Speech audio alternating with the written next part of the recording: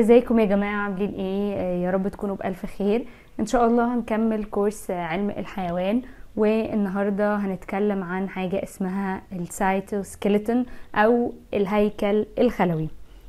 طيب يعني إيه ال cytoskeleton أو الهيكل الخلوي؟ ده network of connected filaments and tubules يعني شبكة من الخيوط والأنيبيبات متصلة مع بعضها البعض. طيب الشبكة دي بتمتد من ال nucleus اللي هي النواة لحد ال plasma membrane أو اللي هو الغشاء البلازمي. زي ما أنتم شايفين كده في الصور اللي قدامكم آه، بتبين لكم الأنيبيبات وشبكة الخيوط دي إزاي بتبقى مترابطة مع بعضها يعني. بعدين عندي ثلاث حاجات مهمين ال microtubules وال microfilaments وال actin آه، أو ال actin filaments. طيب يعني إيه ال microtubules دي؟ من اسمها كده مايكرو يعني أنيبيبات صغيرة جدا. هي بتكون عبارة عن small hollow cylinders يعني آه، أسطوانات أو أنابيب مجوفة صغيرة بتتكون من globular protein آه، tubulin اللي هو بروتين كروي الشكل اسمه tubulin. بعدين عندي ال microfilaments أو اللي هي الخيوط آه، آه، بتكون برضو صغيرة جدا. دي بتكون شبه ال microtubules بس الفرق إن دي بتكون solid آه، structure يعني تركيبها صلب شوية.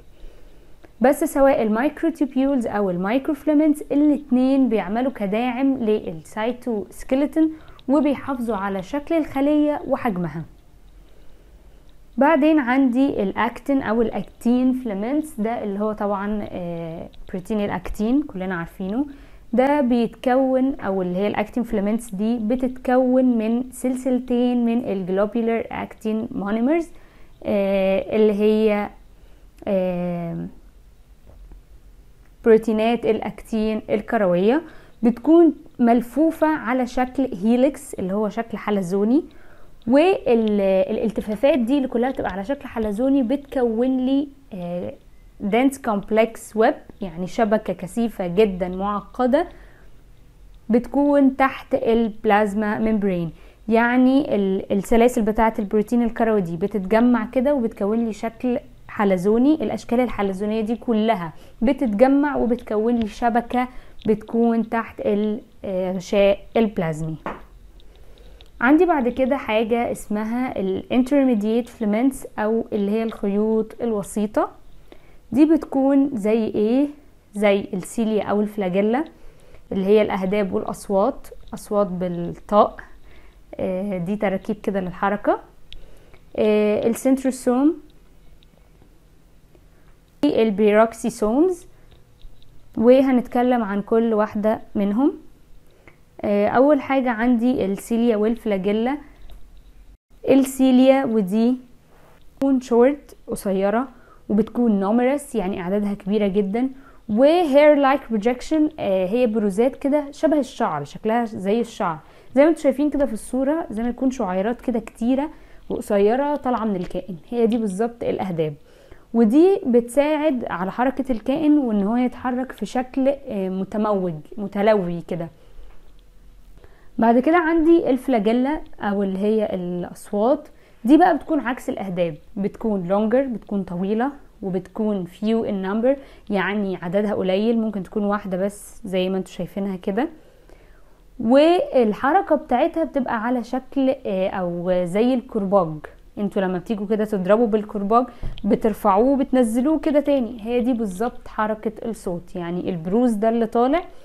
اللي هو في الصورة بيترفع كده وينزل يدب على الأرض وهي دي بالظبط حركة الكائن. آه، سواء ال cilia أو ال- flagella الاتنين بيساعدوا على حركة الكائن. بعدين عندي ال centrosome وده بيتكون من اتنين centrioles بيكونوا آه، بيكون ال centrosome ده موجود في في آخر الناحيتين من ال- الخلية. زي ما زي ما موجود عندكم كده في الرسم نهاية الخلية من هنا ومن هنا بيكون في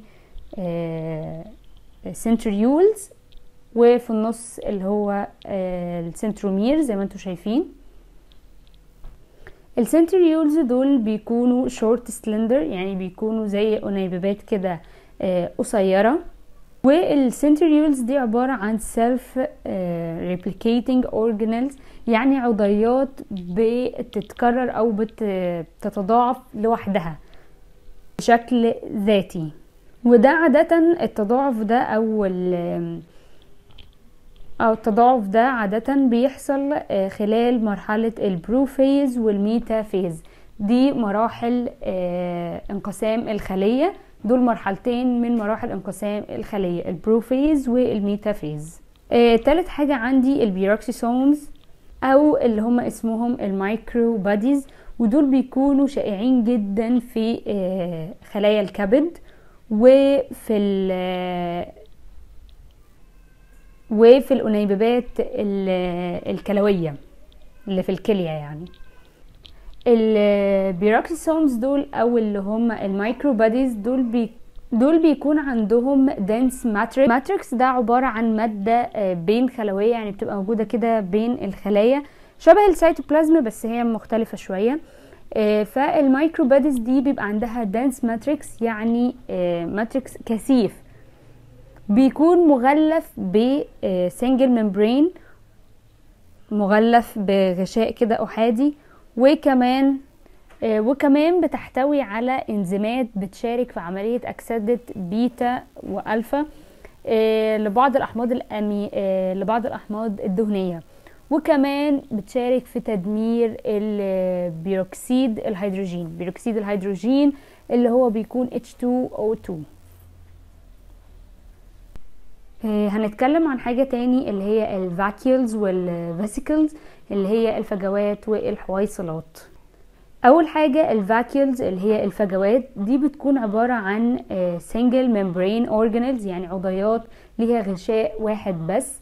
دي بتكون أساسية في الجزء الخارجي للخلية وبتكون located with ال cell يعني موقعها في الخلية زي ما قلت.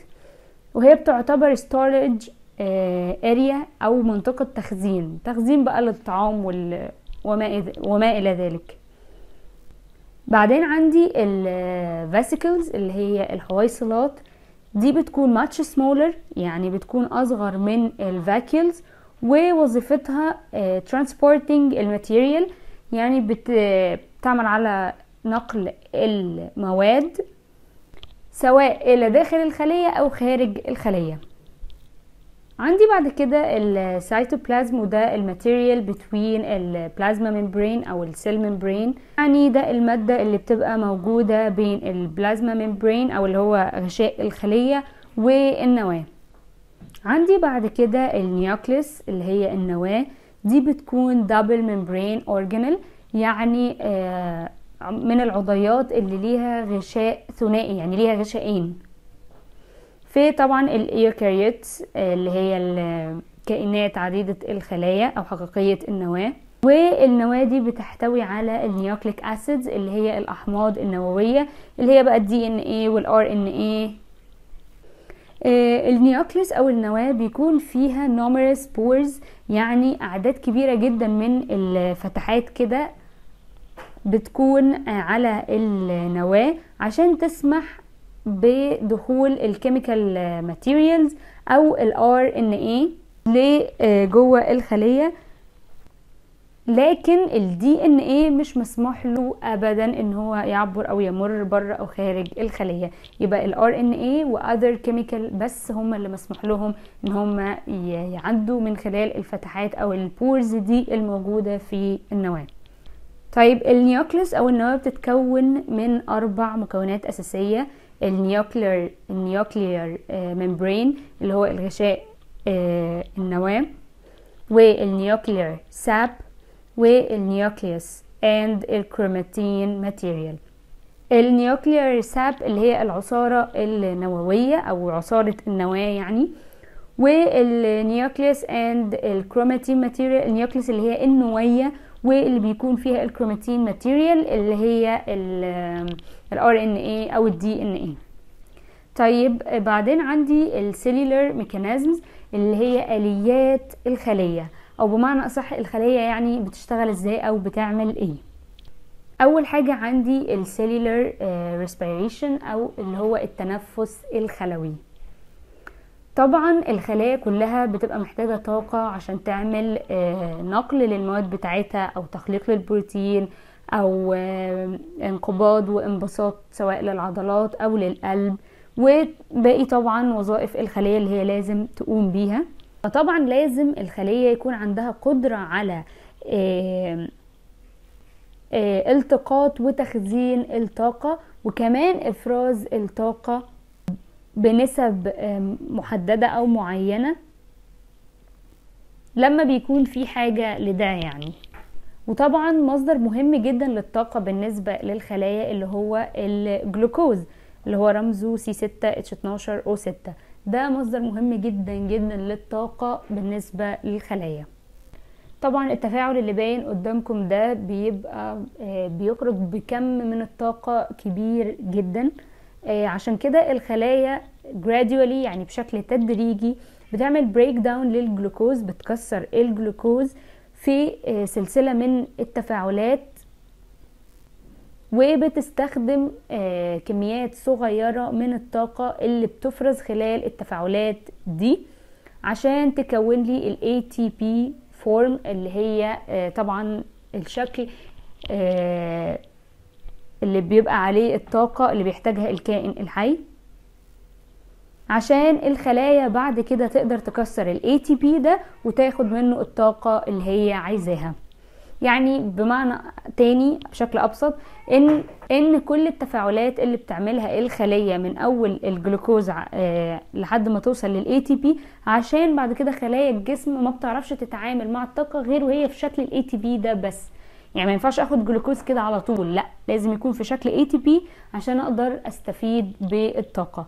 فهي بتعمل كده بالظبط بتاخد الجلوكوز وعن طريق تفاعلات معينة بتحوله لي ل ATP اللي بيقدر بعد كده الكائن الحي يستخدمه كطاقة. وطبعا الطاقة اللي طلعت لي دي أو ال ATP بيستخدم في كل العمليات في كل العمليات اللي أنا قلتها فوق اللي هي تخليق بقى البروتين ال trans transportation اللي هو نقل المواد وغيره.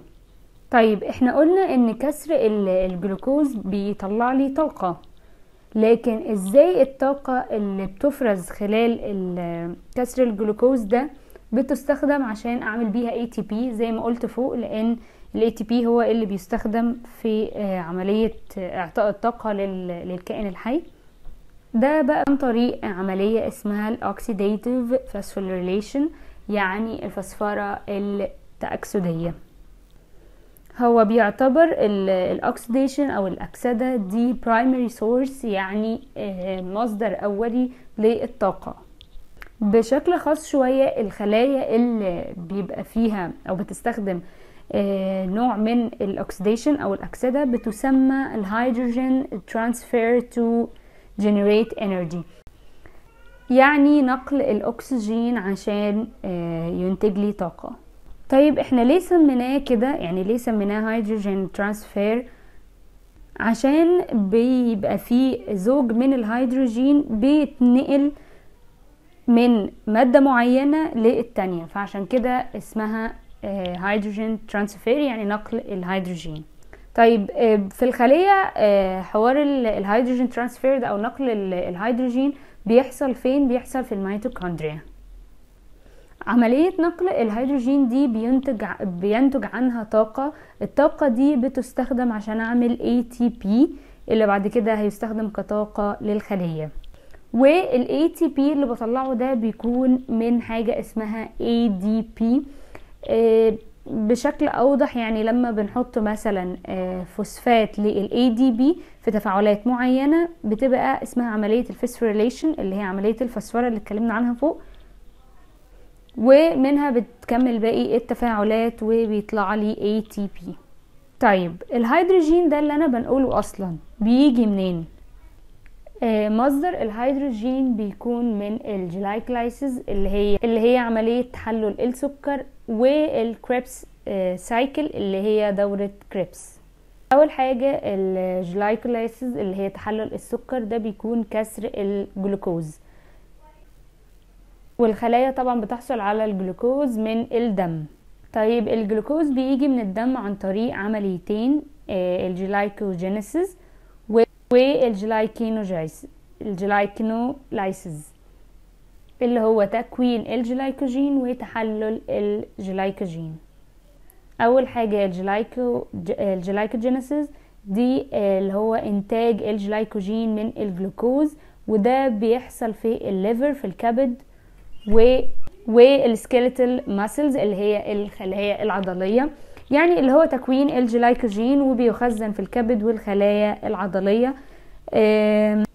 وده بيحصل لما يكون ال- الدم فيه نسبة سكر كتير جدا يعني فيه جلوكوز كتير جدا فالجسم بياخد جزء من الجلوكوز ده بيحوله لجلايكوجين بيخزنه في الكبد والعضلات. آه، ال glycogenolysis بقى ده عكس عملية تخليق ال- الجلايكوجين. ده بقى كسر الجلايكوجين اللي هو كان مخزن في الكبد والعضلات عشان آه، أطلقه في الدم لما بتكون نسبة السكر في الدم قليلة جدا.